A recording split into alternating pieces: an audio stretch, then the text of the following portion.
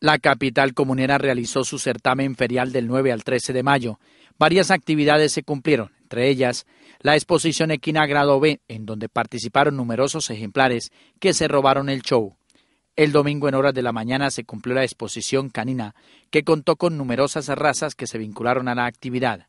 Desde las 11 de la mañana se realizó la cabalgata que se inició desde el sitio Las Palmeras en la vía Socorro Oiva y efectuó un recorrido por la parte alta de la Villa Olímpica y las principales calles de la ciudad.